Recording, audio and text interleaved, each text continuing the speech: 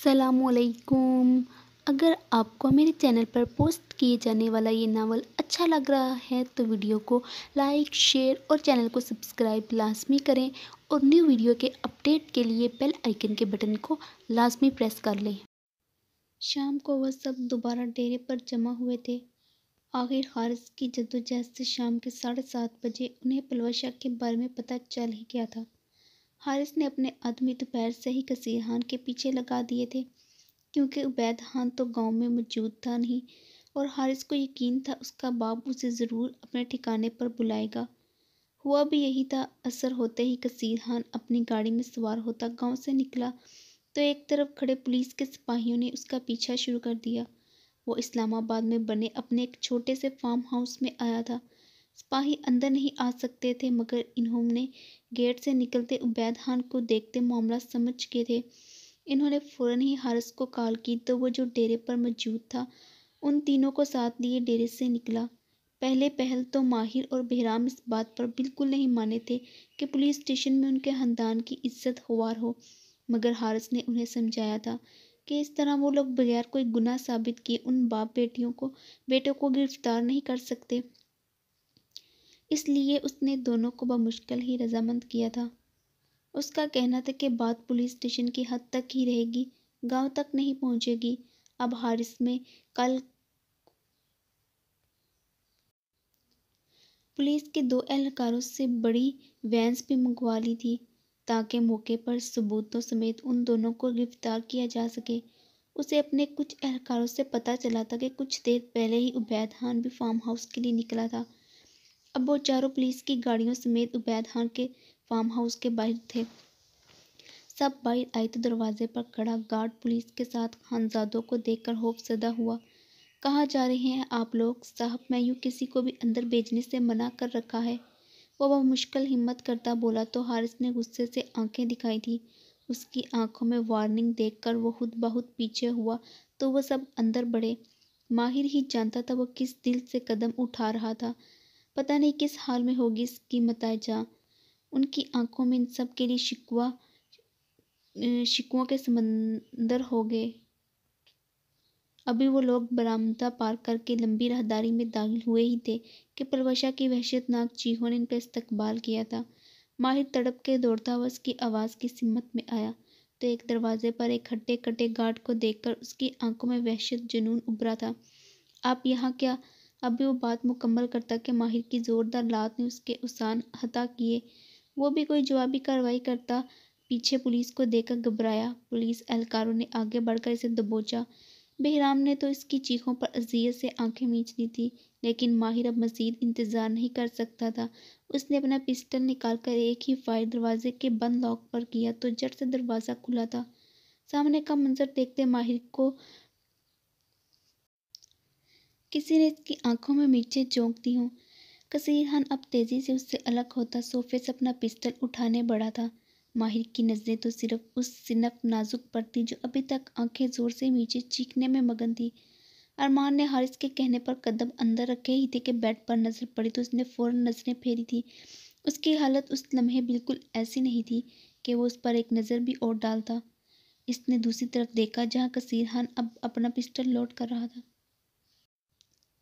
अरमान चील की तेज़ी से उस पर जपटा और रिवॉल्वर उससे खींचकर ज़मीन पर फेंकते उसे घसीट कर बाहर लाया। साथ ही उसने माहिर को आगे बढ़ने का कहा था, जो अभी तक स्टिल वहीं खड़ा, बस उसे देखे जा रहा था। अचानक उसे होश सा आया तो वो झटके से आगे बढ़ा। बेड के बिल्कुल पास खड़े होकर उसने ज़ोर से प्रवशा को झिझोड़ा था। विश, इधर देखो, मेरी तरफ़ तुम्हारा माहिर आ गया है, मेरी जान, आँखें खोलो। वो बेचैनी से चेहरा उस पर झुकाता हुआ बोला तो जिसका सारा ध्यान सिर्फ़ चीखों पर था। यही तो थी इसकी नज़ाकत जिससे माहिर खान ज़्यादा सदा था हमेशा से। माहिर की नज़र उसकी पटी कमीज़ पर गई तो इसने तेज़ी से अपनी टी शर्ट उतारी। फिर माहिर ने सहारा देकर उसे बमुश्किल ही बिठाया था। नरमी से उसकी कमीज़ बिल्कुल उतारते उसने अपनी शर्ट उसे पहनाई थी, मगर वो भी उसके कुंदन बदन के नशीबों पर छुपाने से कासिर थी। माहिर ने पल को अजियत व तकलीफ़ से आँखें बंद की, मगर फिर भी मगर फिर खोलकर बहराम को पुकारा। वो आहिस्ता आहिस्ता कदम उठाता। अंदर आया तो अपनी गुड़िया की हालत देखकर वो आग बगोला हुआ था। माही ने बगैर कुछ बोले बहराम की शाल उतारी और परवशा के गिर अच्छे से लपेट दी।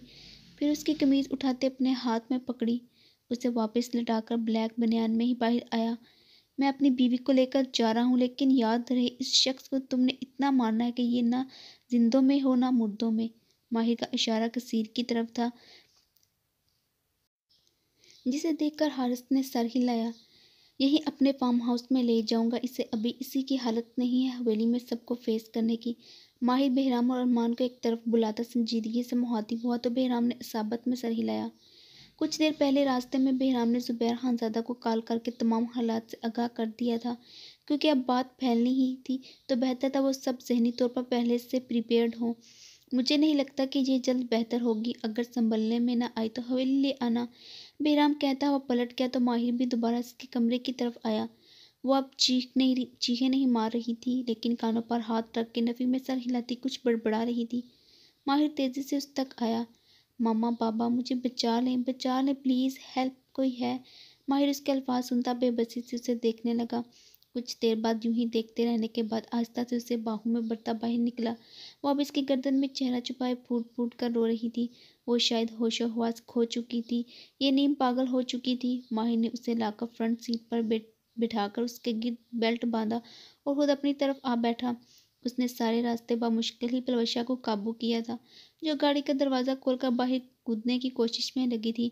जब उसने दो दफ़ा वही हरकत दोहराई तो माही ने उसे खींच कर अपनी गोद में बिठा लिया था। रास्ते में कभी उसे चीखने के दौरे पड़ते और कभी वो बिल्कुल खामोश हो जाती तो माहिर का दिल होप से होल उठा था।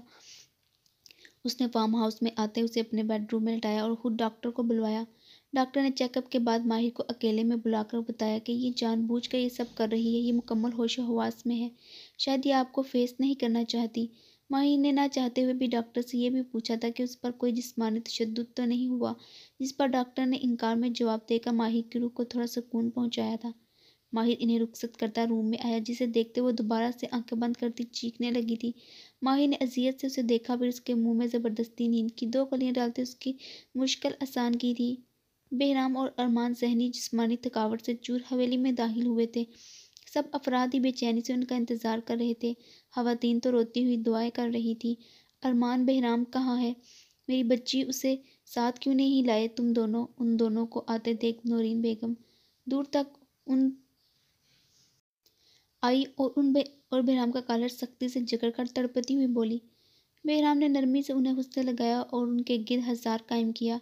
बिल्कुल ठीक है, वो माहिर उसे अपने साथ फार्म हाउस ले गया है। अभी उसकी जहनी हालत थोड़ी डिस्टर्ब थी। सुबह तक वो उसे ले आएगा, परेशान ना हो। उसके जवाब ने जैसे सबको नए सिरे से जीने की वजह दी, फिर उन दोनों ने बमुश्किल सब औरतों को खामोश करवा के कमरों में भेजा और खुद वही सोफ़ों पर बैठे। छोटी हवेली वाले भी यही मौजूद थे। समरीन बेगम भी गेस्ट रूम में जा चुकी थी, जबकि हबीब और अली खानजदा लाउंज में ही मौजूद थे। बहराम ने सबको सारी कहानी बताई और साथ ही कसीर और अबैद खान गिरफ़्तार होने का बताया तो सबको ही सुकून हुआ। अब किसी तरह इनसे एहतशाम का कत्ल भी कबूल करवा लिया जाए, ताकि अवैज़ और अरमान के दरमियान ये जो हलश है, ये भी ख़त्म हो सके। अजमीर खानजादा की बात पर बहराम ने उन्हें देखा।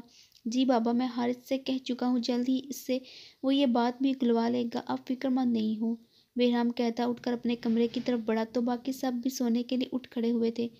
रात को माही मोहब्बत से उसे अपने सीने पर लटाए उसके बालों में उंगलियाँ फेरता, उसे पुरसकून करने की कोशिश करता रहा था। नींद और दुआओं के बाद वो अब सुबह के नौ बजे ही उठी थी, मगर अपने पास माहिर को लेटे देख दोबारा आँखें बंद करती सोती बन गई। माहिर जो कब से उसके उठने का इंतज़ार कर रहा था, अब उसकी हालत पर उसकी हरकत पर माहिर को अपने अंदर कुछ टूटता महसूस हुआ।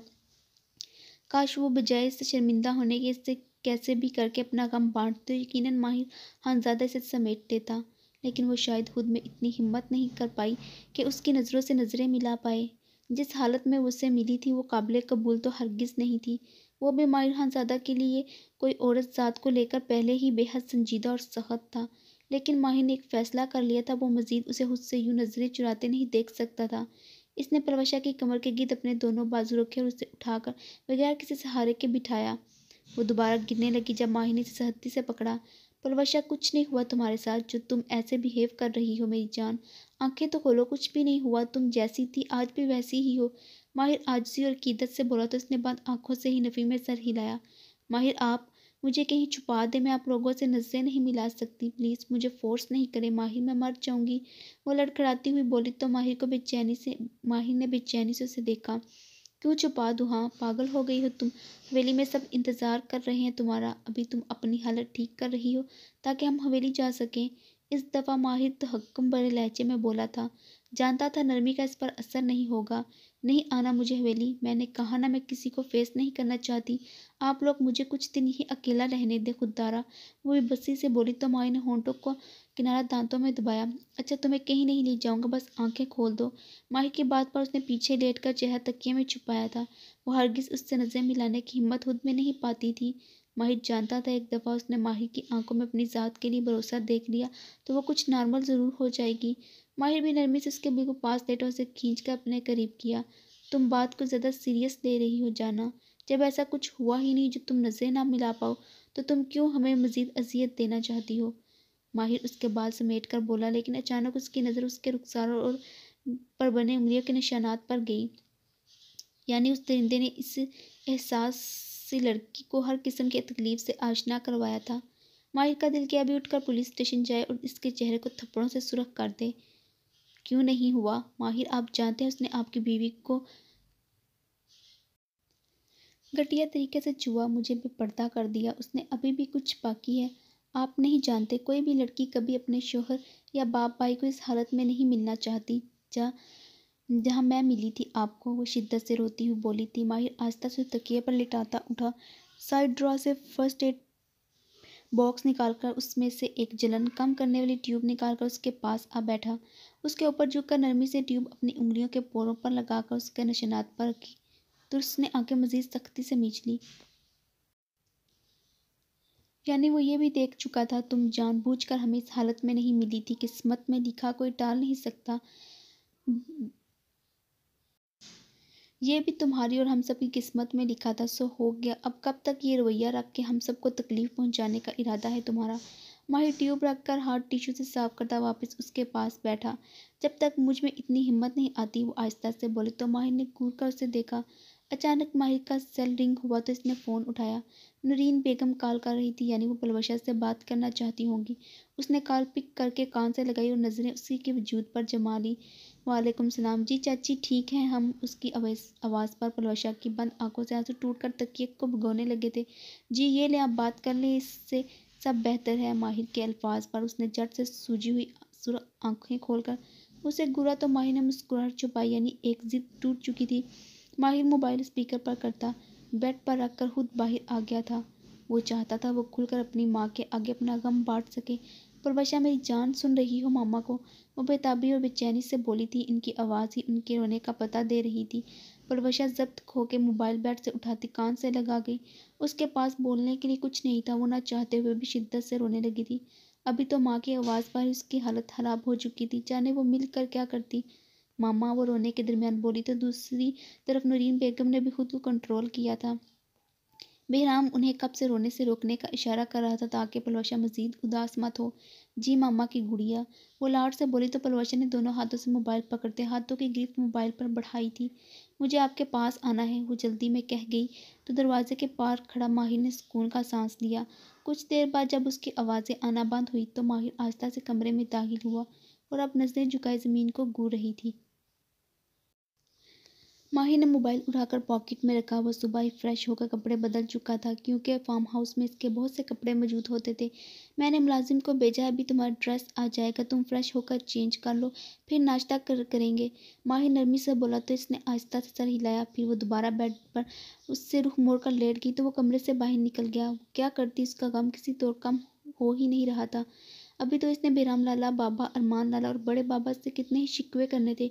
क्यों वक़्त वो सब उसके पास नहीं आए थे जब वो चीख चीख कर करने पुकार रही थी। तब उसकी क्या हालत थी, वो सोच कर ही काम कर रह गई। उसने अल्लाह का डेरा शुक्र अदा किया था कि जो भी हुआ, अल्लाह ने उसकी इज़्ज़त महफूज रखी थी। माहिर ने उसे, माहिर ने उसे कपड़े दिए तो वो जल्दी से फ्रेश हुई, फिर उन्होंने नाश्ता फार्म हाउस पर ही किया और गाँव के लिए निकल पड़े थे।